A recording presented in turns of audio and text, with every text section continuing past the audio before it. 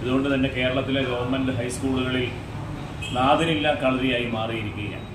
ഗവൺമെന്റിന്റെ പ്രത്യേകിച്ച് പൊതുവിദ്യാഭ്യാസ വകുപ്പിന്റെ ഉദ്യോഗസ്ഥന്മാർ കാണിക്കുന്ന തീരെ ഉത്തരവാദിത്തമില്ലാത്ത ഇത്തരം നടപടികൾ കേരളത്തിലെ പൊതുവിദ്യാഭ്യാസ മേഖലയിൽ തകർക്കുന്നതാണ് എന്നുള്ളതാണ് വാസ്തവം.